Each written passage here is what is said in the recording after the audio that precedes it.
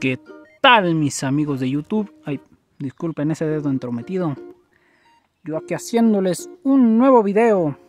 Y ya saben que como siempre tratamos sobre los cactus. En esta ocasión les voy a platicar sobre el tiempo de calor. Ya antes en el canal había subido un video sobre este tema, que es el tiempo de calor en los cactus. Y ya sabemos más o menos qué es lo que afecta a los cactus eh, o más bien qué es lo que hace dentro de, la vida de los cactus este calor. Ustedes pueden ver, yo tengo a estos cactus dentro de un invernadero. No está bien cerrado, vean. Allí hay una, una abierta. De este lado también hay otra abierta. Que pues permite un flujo de aire en el interior del, del invernadero.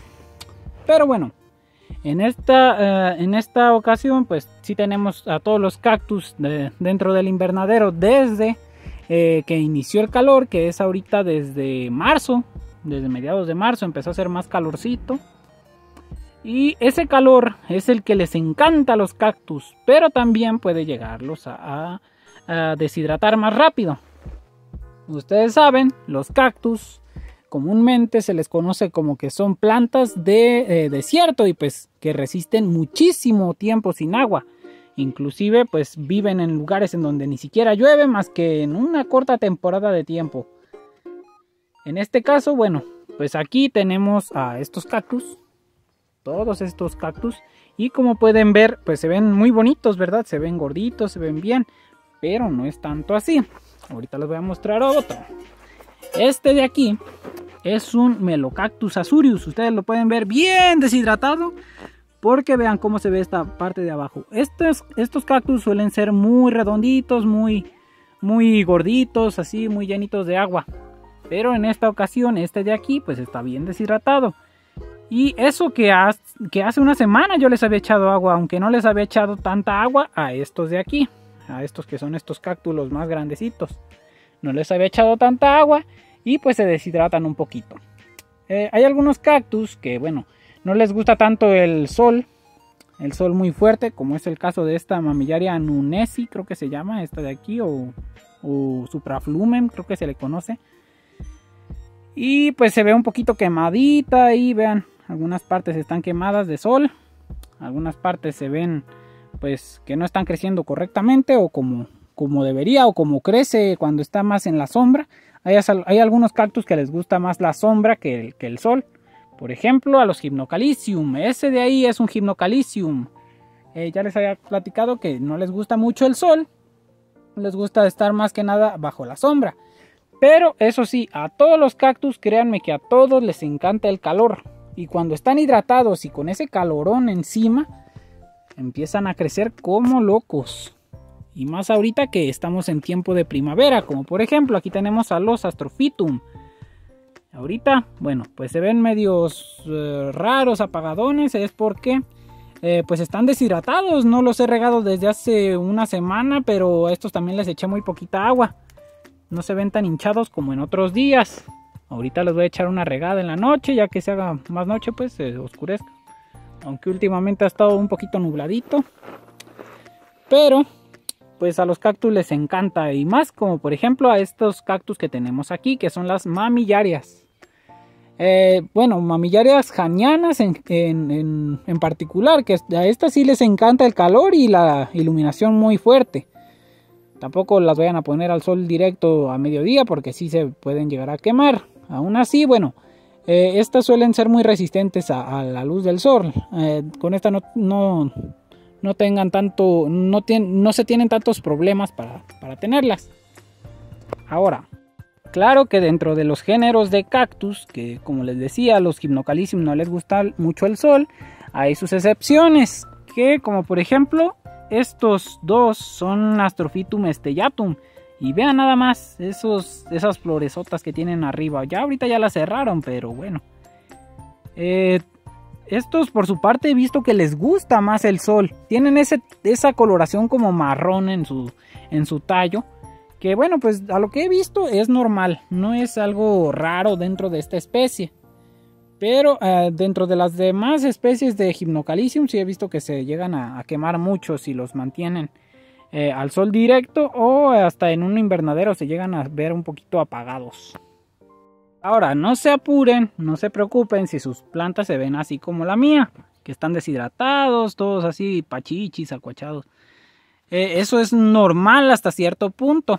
Pero hay, una, hay ocasiones en que ustedes, por más que le echan agua al cactus, eh, ya no se vuelve a hinchar como... Bueno, se sigue quedando así como este de aquí.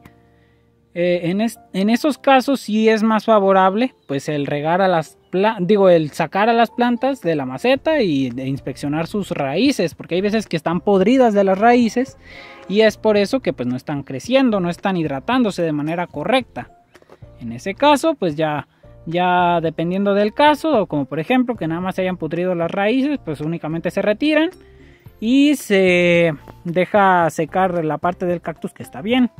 Si es que ya avanzó hacia el cactus, pues ya ahora sí ya ya dependiendo de la especie, este será más difícil o más fácil el, el cuidarlos o el curarlos. Y bueno, pues ¿qué tenemos que hacer en el tiempo de calor? Ahorita yo les recomiendo, ah, vean, esa floresota que tiene ahí ese, ese, ¿cómo se llama? Echinocereus, Echinocereus rigidísimo rubrispinus.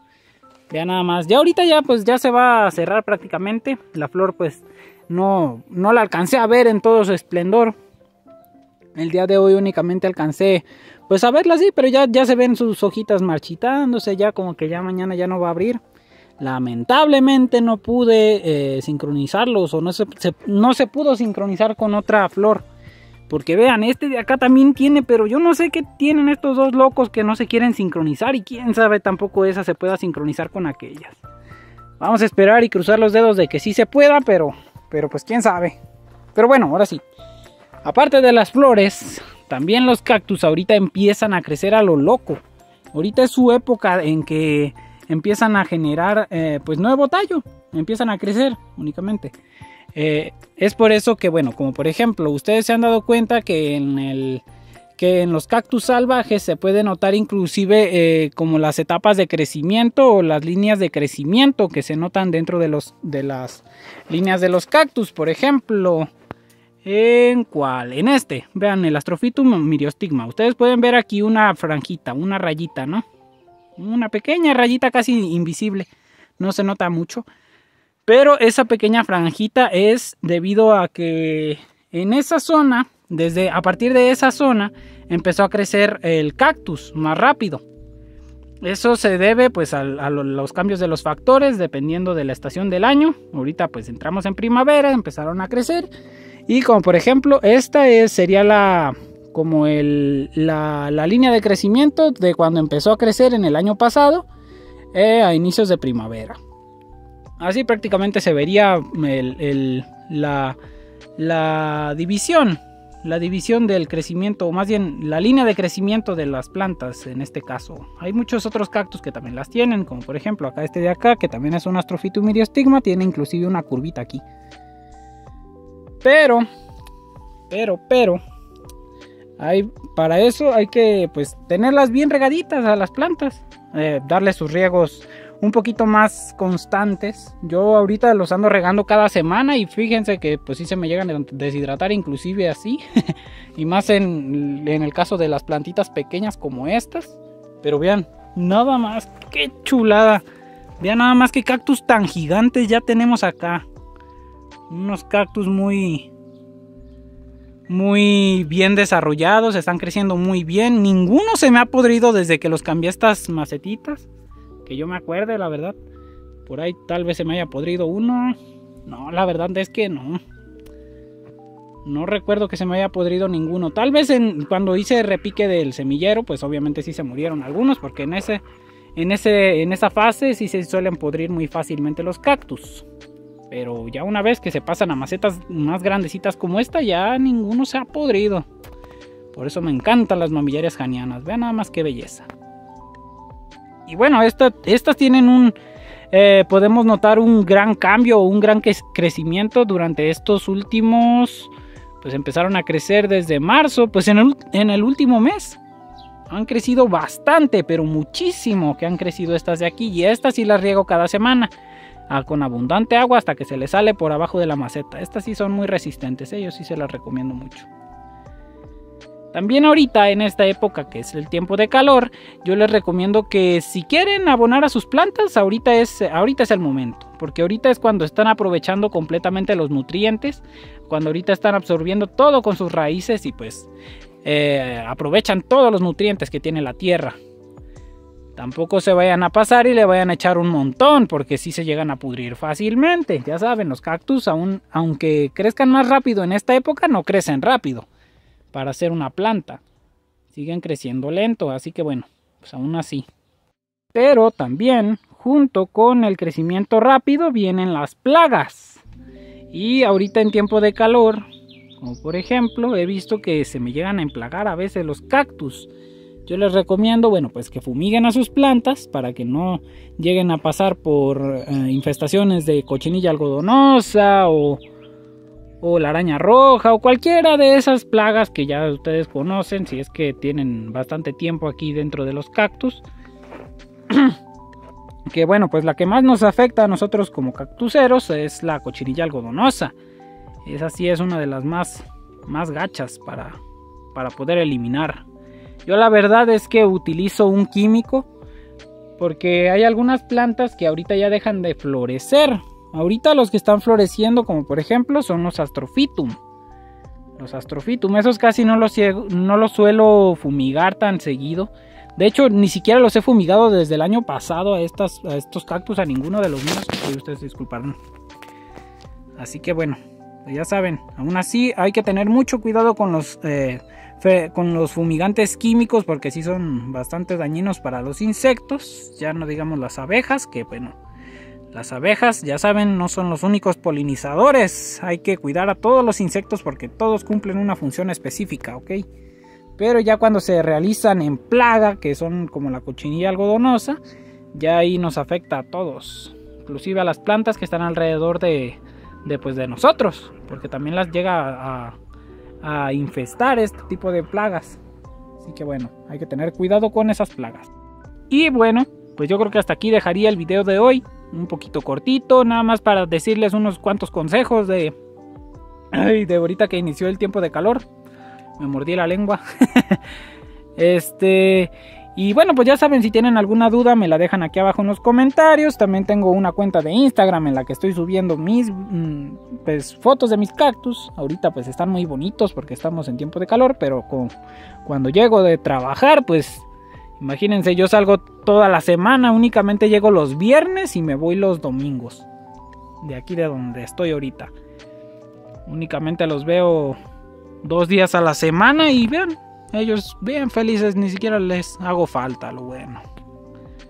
Pero bueno, ya saben que si les gustó el video denle like, suscríbanse y compártanlo. Y ya saben, si tienen... Ah, de veras ya les había dicho, ¿verdad? Bueno.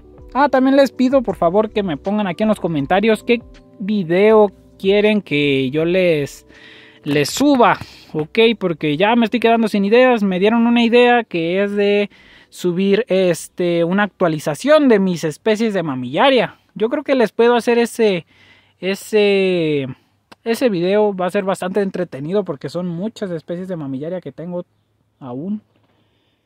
Pero bueno, eso ya lo veremos para el siguiente video, ¿sale? Pero ya saben, si tienen algún algún video o alguna idea de video, me la dejan aquí abajo en los comentarios. Y bueno, pues ahora sí, nos vemos hasta la próxima. Bye.